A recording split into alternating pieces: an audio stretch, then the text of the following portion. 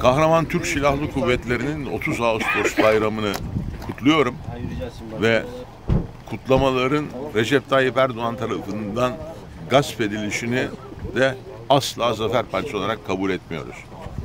Türk Silahlı Kuvvetleri'nin hakkıdır 30 Ağustos'ta tebrikleri almak.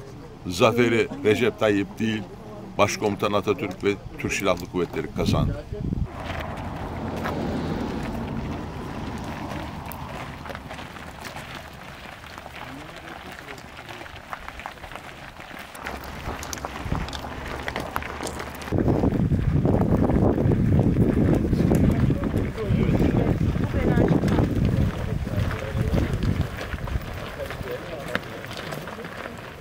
Sağda sana çektiğim videoyu gönderdim.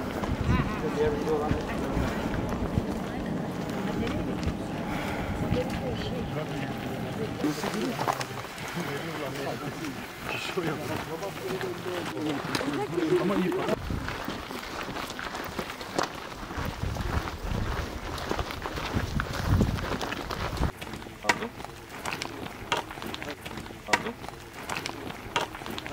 Şimdi biz buradayız.